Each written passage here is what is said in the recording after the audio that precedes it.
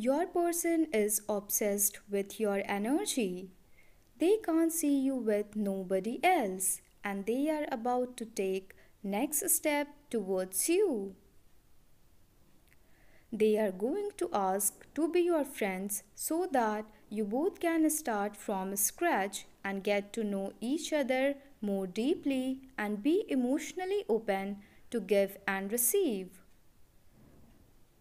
Your self love and care has really made a huge shift in your energy, which is sensed by your person too.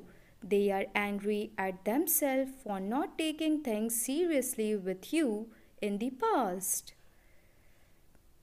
They want to protect this connection because they don't want to lose it at any cost.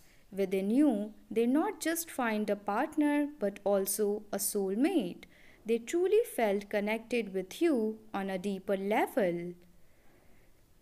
You are gracefully healing and transformed into a better version of yourself. Your person is also mirroring the same energy at this time.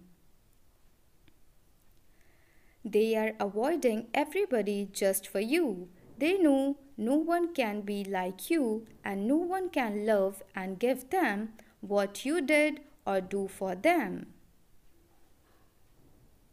Subscribe for more upcoming channeling. Thank you.